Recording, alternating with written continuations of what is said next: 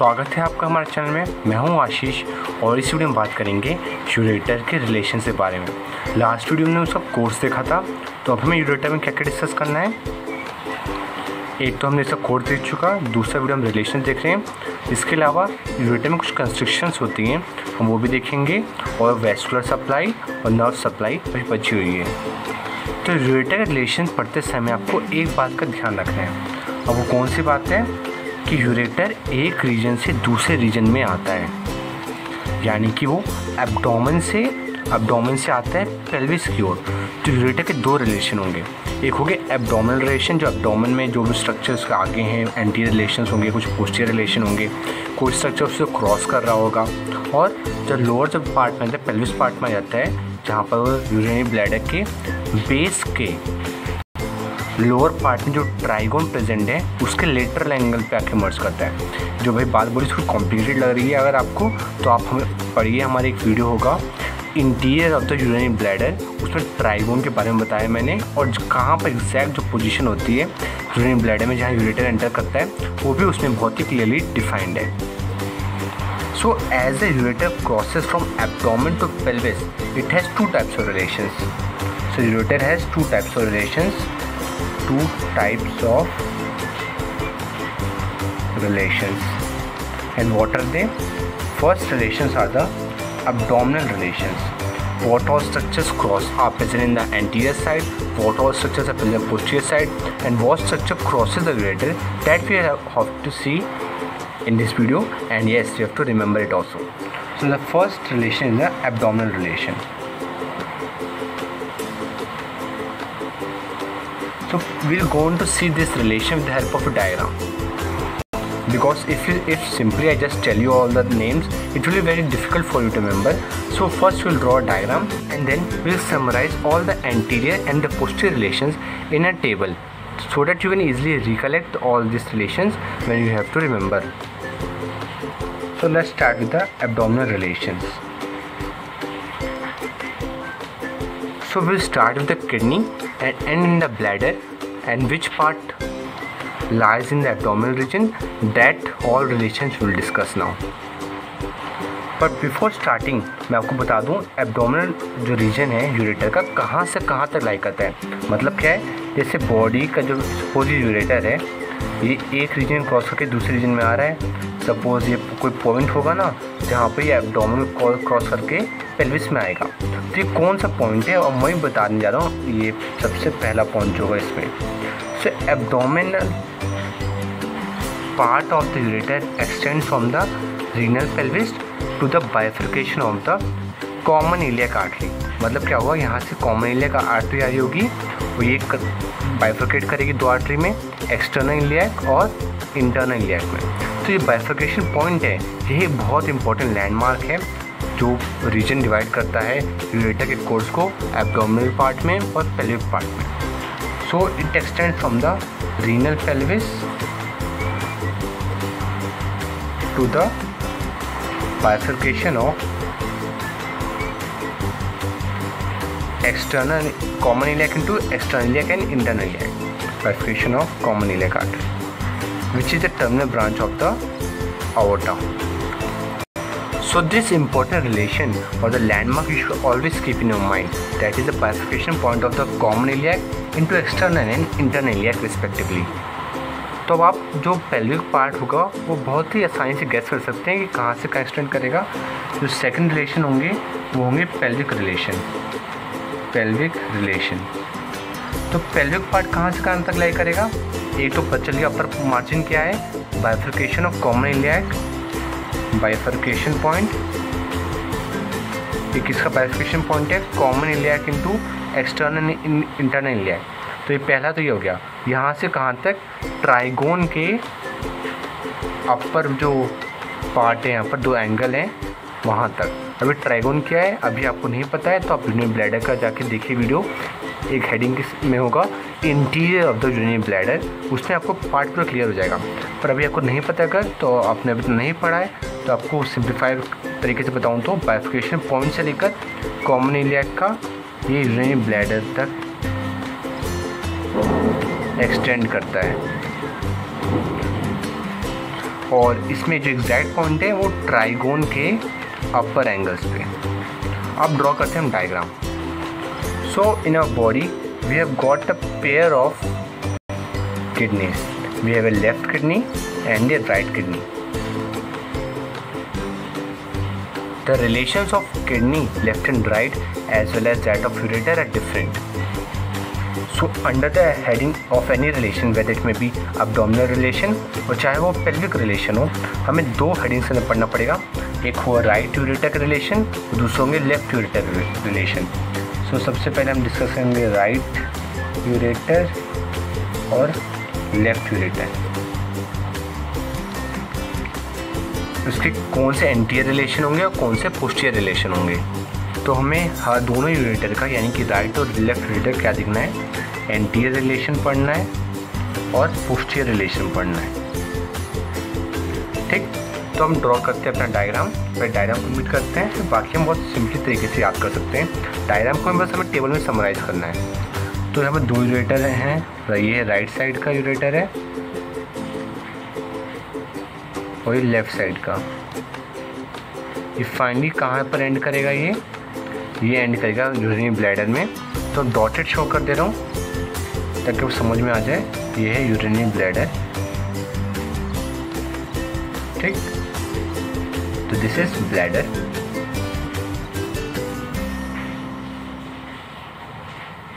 this is right side and this is left side ठीक है superior and होगा ऊपर और नीचे इन्फीरियर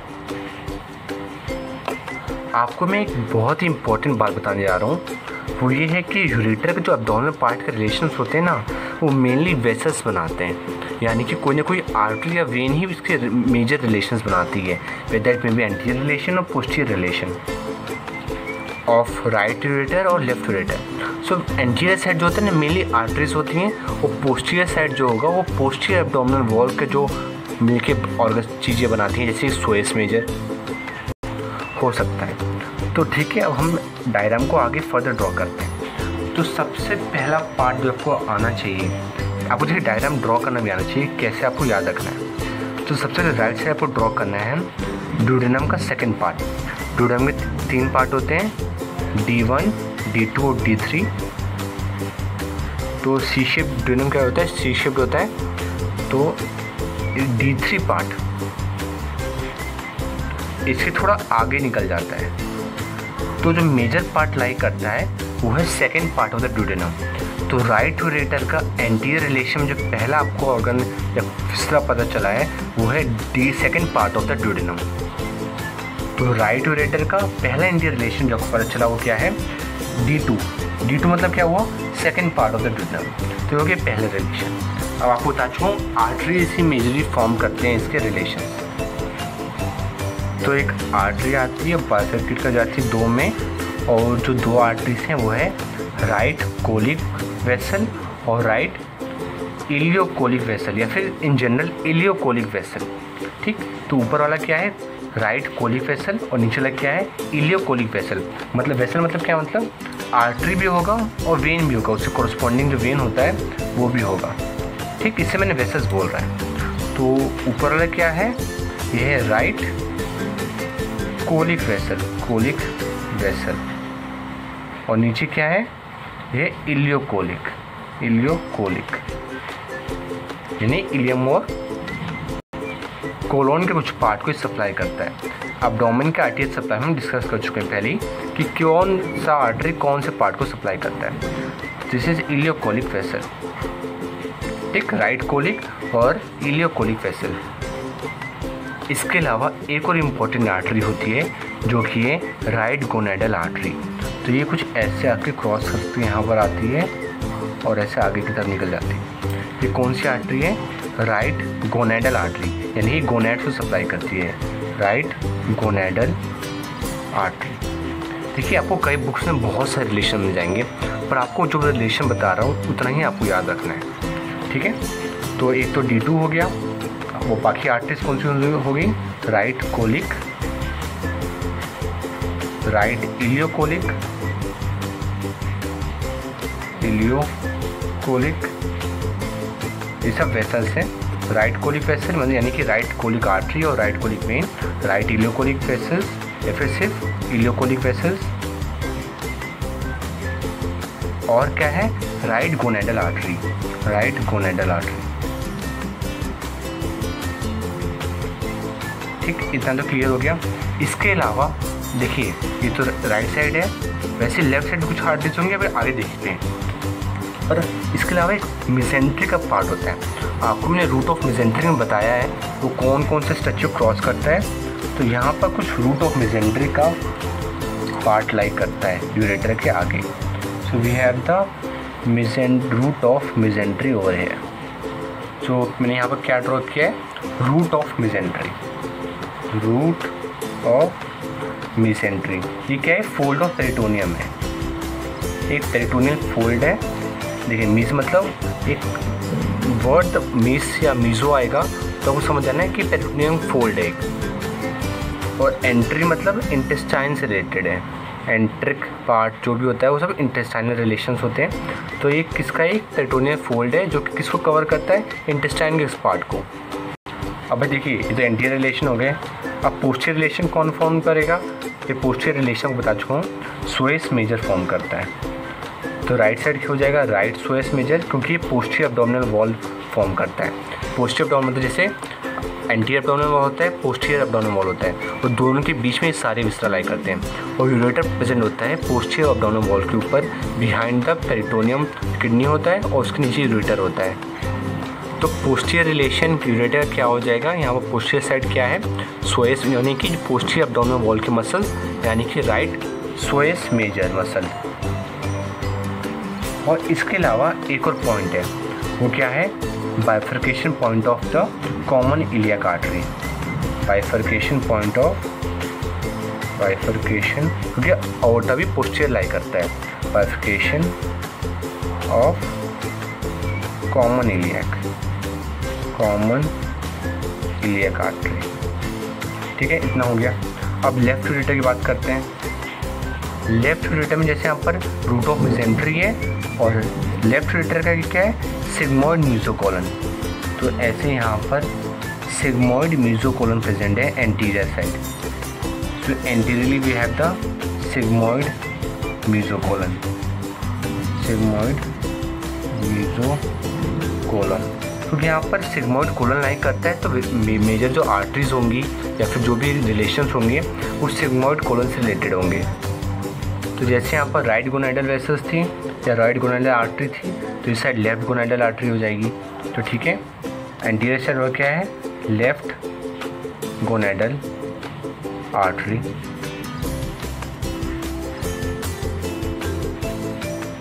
ठीक, ये तो हो गया। इसके अलावा, अब जाना है sigmoid colon right side left side lie करता है। तो जो वेसल्स आएँगी, वो भी सिग्मोइड कॉलन की लाएँगी यानी कि सिग्मोइडल वेसल्स लाई करती हैं लेफ़्ट साइड सो दो वेसल्स निकल रही है ब्रांचेस ये कौन सी वेसल्स हैं? This are the sigmoidal vessels sigmoidal vessels यानी कि सिग्मोइडल आर्टरी भी होगी वेन भी इसको फॉलो करेगी। तो एंटीरियर भी क्या है? लेफ़्ट यूरेटर के आगे सिग्मोइडल वेसल्स देखिए रिलेशन बहुत ही कॉम्प्लिकेट हो सकते हैं, इसलिए आपको एक एक करके सारा याद करना है। और आपके दिमाग में डायग्राम अगर है तो ये सब पॉइंट आप बहुत ही आसानी से लिख सकते हैं। हाँ देखिए, जैसे क्या, मुझे राइट साइड या याद करें तो याद था कि सी शिप क्या था? ड्यूड्रम का सेकंड पार्ट आ रहा था? ठीक, क्योंकि थर्ड पार्ट क्या था? आगे निकल जाता है। उसके अलावा यहाँ पर तीन आर्टरी थी कोनाडल आर्टरी है इलियोकोलिक आर्टरी है और राइट कोलिक आर्टरी है तो तीन आर्टरी हो गई। इसके अलावा root of mesentery right side है और sigmoid colon left side present होता है तो सिग्मोइड यहाँ पर सिग्मोइडल मीजोकोलन प्रेजेंट है। और इसके अलावा सिग्मोइडल वेसल्स भी। और right side right gonadal artery है तो left side left gonadal artery है। वैसे आपको राइट साइड का पोस्टर रिलेशन याद है तो लेफ़्ट साइड का भी सेम ही है। लेफ़्ट साइड हो जाएगा लेफ़्ट स्वेस मेजर और वही bifurcation point of the common iliac यानी कि bifurcation of bifurcation of common यानी कि देखिए राइट साइड क्या भी है लेफ़्ट जैसे देखिए अवोटा आता है और दो टर्मिनल ब्रांचेस यानी कि दो राइट और लेफ़्ट कॉमन इलियक आर्टरी में डिवाइड हो जाता है। ठीक है? This is right common iliac this is left common iliac जो कि फर्दर एक्सटर्नल और इंटरनल इलियक में ऐसे ब्रांच आउट हो जाते हैं। तो ये bifurcation point of left common iliac ये वाली आर्टरी कॉमन इलियक और यहाँ पर राइट साइड क्या जाएगा? Bifurcation point of right common iliac तो ठीक है, इस तरह हमने कंप्लीट कर लिए इसके सारे अबडोमिनल रिलेशंस अब हम देखते हैं सिर्फ़ पेल्विक रिलेशंस देखिए, वो पेल्विक रिलेशन याद करना है तो आपको लेफ़्ट पेल्विक वॉल कैसे फॉर्म होती है, आपको वो पढ़ना पड़ेगा पहले. आपको क्लियरली बता दे रहा हूँ पेल्विक रिलेशन को आपको मैं ऐसे बताऊँगा तो आपको नहीं याद होगा। तो आप हम प्लेलिस्ट सेक्शन में जाइए पेल्विस की, वहाँ पर आपको पेल्विक वॉल यानी कि जब पेल्विस होता है, उससे जो लेटरल वॉल्स हैं, वहाँ पर कौन सी नर्व्स और आर्टरीज प्रेजेंट होती हैं, आप वो पढ़ लीजिए।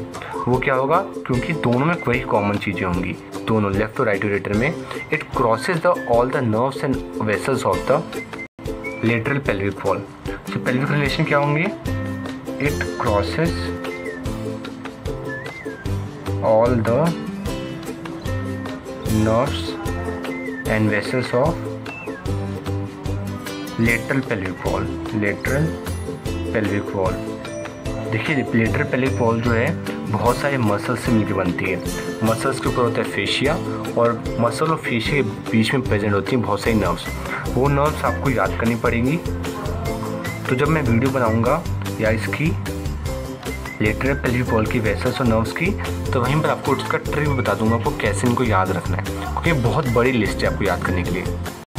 तो इन जनरल आपसे कोई पूछे पेल्विक रिलेशन कैसे फॉर्म होते हैं तो जितने पोस्टियर पार्ट में क्या क्या लाई करेगा the nerves in vessels of the lateral pelvic wall ठीक? बट यहाँ पर एक बहुत ही मेजर यहाँ पर एक पॉइंट आता है। वो सर्जिकल पॉइंट से बहुत ही इंपॉर्टेंट है, यानी कि क्लिनिकल पॉइंट ऑफ़ व्यू से बहुत ही इंपॉर्टेंट है। वो कौन सा पॉइंट है? कि जो यूरेटर होता है, वो पेल्विक पेल्विक रीजन में क्रॉस होता है यूट्राइन आर्टरी से। सपोज़ जैसे ये यूरेटर आ रहा है यूरेटर आ रहा है, ये क्रॉस होता है यूट्राइन आर्टरी से। ऊपर और एंटीरियर सो जो रीजन होता है सर्विक्स के पास लाई करता है। So near the uterine cervix near uterine cervix, ureter is crossed by, ureter is crossed in front. मतलब क्या है? ये सपोज़ ये पीछे यूरेटर है, उसे सामने से क्रॉस करता है uterine artery so near uterine cervix ureter is crossed in front or anteriorly by the uterine artery uterine artery. इसका सर्जिकल पॉइंट ऑफ़ व्यू से क्या इम्पोर्टेंस है, वो मैं आपको इसके क्लिनिकल पार्ट में बहुत ही अच्छे से समझाऊँगा। और अभी के लिए आपको बता दूँ और आपको पेल्विक रिलेशन अच्छे समझ रहे हैं तो हमारी आने वाली वीडियो जो दिखेगा इसलिए आपने हमें चैनल नहीं सब्सक्राइब किया है तो सब्सक्राइब बटन पर क्लिक कर लीजिए और हमारे चैनल सब्सक्राइब लीजिए। और आपको वीडियो पसंद आता है then hit the like button and subscribe please do subscribe and share channel thanks for watching